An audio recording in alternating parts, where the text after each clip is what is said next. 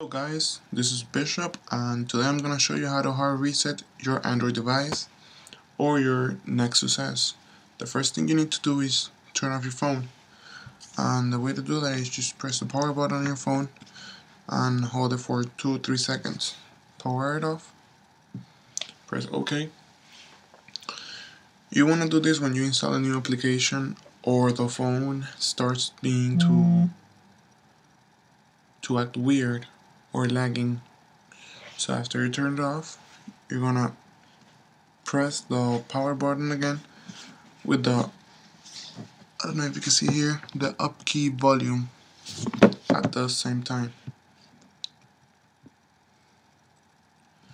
And it's gonna take you to the main uh, screen like the administrator type of thing.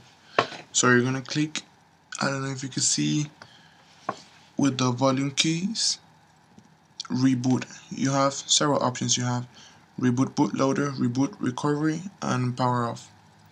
So just click reboot with the selection button being the power button. And there you go. It's gonna take a little while like 10 seconds more than the usual restart since this is a reboot and it's refreshing everything. Like I said, this is good for when you install an application or you do something else with the phone, it starts being laggy or anything. So you just wait and then you just put in your password again. Thank you for watching and have a great day. Bye bye.